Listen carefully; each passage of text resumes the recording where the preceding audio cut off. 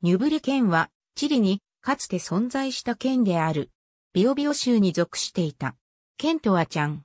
北にマウレ州リナレス県とカウケネス県、東にアルゼンチン、南にコンセプシオン県とビオビオ県、西に大西洋と接する。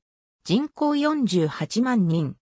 2017年8月19日にビオビオ州からの分離法案が当時の大統領ミシェル・バチェレによって交付されたことにより、2018年9月6日より単独の州であるニュブレ州に昇格した。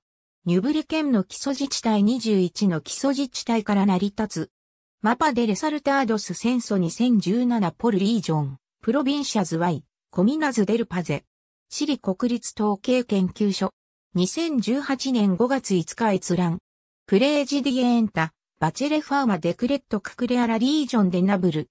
ラターサー、2018年5月5日閲覧。クレア LA、ズビエリージョンデナブル、YLAS、プロビンシャズデジグビリン、ピューニライーイタタ。チリ議会図書館。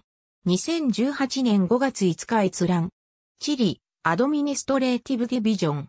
シティポピュレーション、2018年5月5日閲覧。ありがとうございます。